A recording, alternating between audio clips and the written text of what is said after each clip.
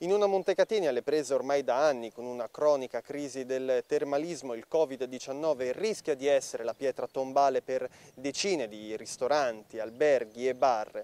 Chi può però resiste e prova ad immaginarsi un futuro che necessariamente sarà molto diverso da quello che abbiamo vissuto fino a pochi mesi fa. È il caso di Claudio e Sergio Chimenti, una vita nella ristorazione nel settore turistico, titolari del ristorante Corsaro Verde a Montecatini Terme. Oggi i due fratelli sono dentro la loro attività chiusa al pubblico che cercano di immaginarsi come potrà avvenire la riapertura tra tavoli distanziati, divieti di stare uno di fronte all'altro e ingressi ben separati bloccati dalle uscite. Siamo diciamo, tramortiti da due mesi di, di, di pugni che abbiamo preso in faccia e non ci siamo ripresi e penso che sarà difficile riprendersi eh, anche successivamente dopo l'apertura.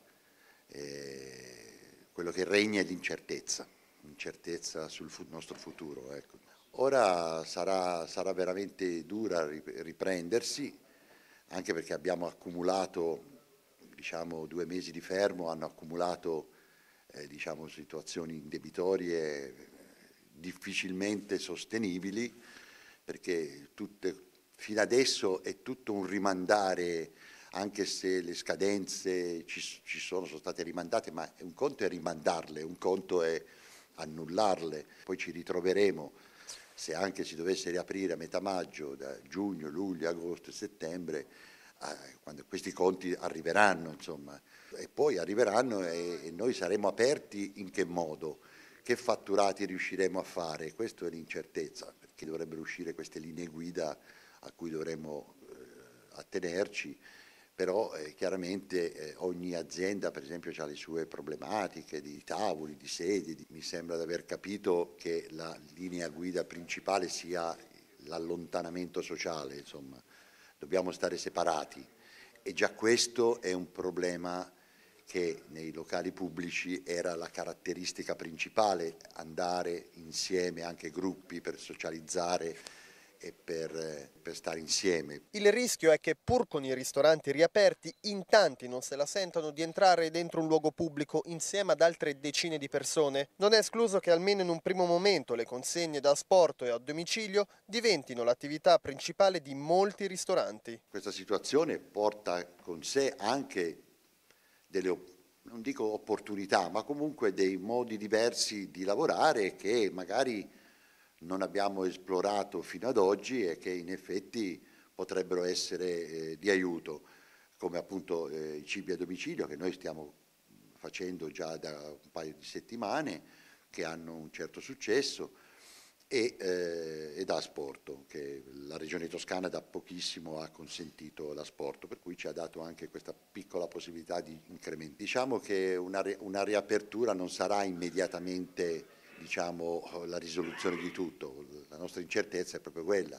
Da una parte eh, sono convinto che la gente dopo due mesi ha voglia di uscire, per carità, però uscire a certe condizioni verrà, sarà un freno comunque, eh, anche solo per i posti, noi abbiamo circa 130 posti a sedere eh, che per come è combinato il locale eh, dopo potranno essere forse la metà se va bene, ecco.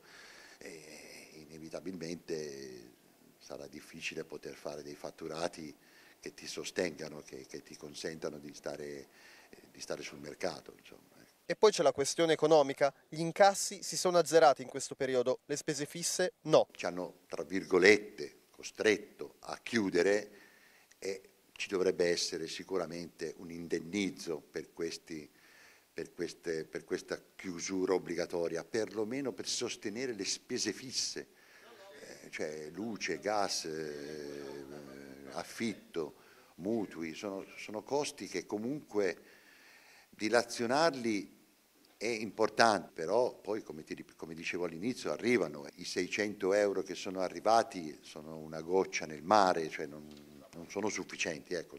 Per ora non vedo, non vedo diciamo, la stessa cassa integrazione per i dipendenti, che io nove, noi abbiamo nove dipendenti che abbiamo messo in cassa integrazione e anche loro mi dicono che ancora ad oggi non hanno ricevuto niente. e anche loro sono nove famiglie che hanno bisogno di, di mangiare, di andare a fare la spesa e non hanno più reddito, ecco, insomma, per cui è un disastro totale da, le, da tutti i punti di vista. Tanto